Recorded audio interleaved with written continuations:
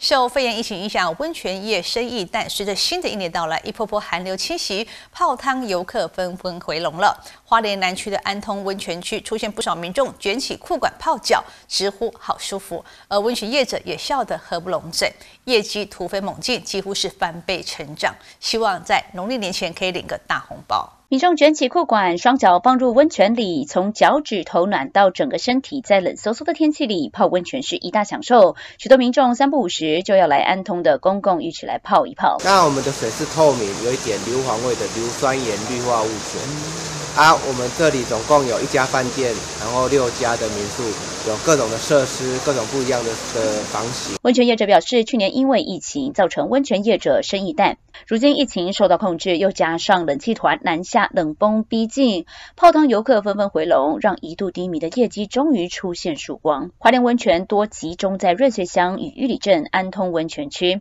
温泉季也在瑞祥温泉公园、安通温泉饭店旁边广场举行。瑞穗温泉是是。全台唯一的碳酸盐泉，有黄金之汤美名，又称英雄汤。安东温泉则是弱碱性硫酸盐泉，浸泡之后皮肤润滑，也叫做美人汤。两地都有丰富观光资源，民众除了泡汤之外，也能够深度旅游。记者高双双玉里镇采访报道。